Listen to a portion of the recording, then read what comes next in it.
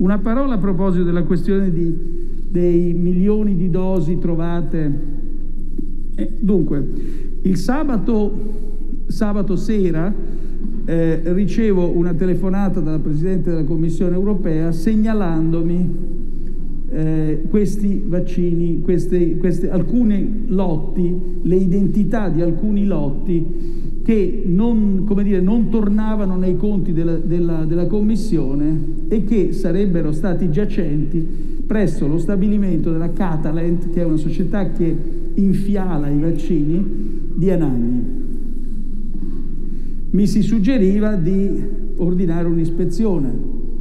La sera stessa ho chiesto al eh, ministro Speranza e di mandare i NAS che da lui dipendono sono andati immediatamente alla fabbrica e la mattina, dopo aver lavorato tutta la notte, hanno identificato effettivamente quei lotti che erano in eccesso.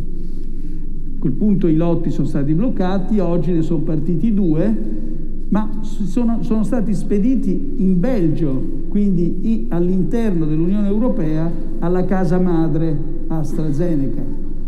Da dove andranno lì io non lo so, però intanto la sorveglianza continua per i lotti rimanenti.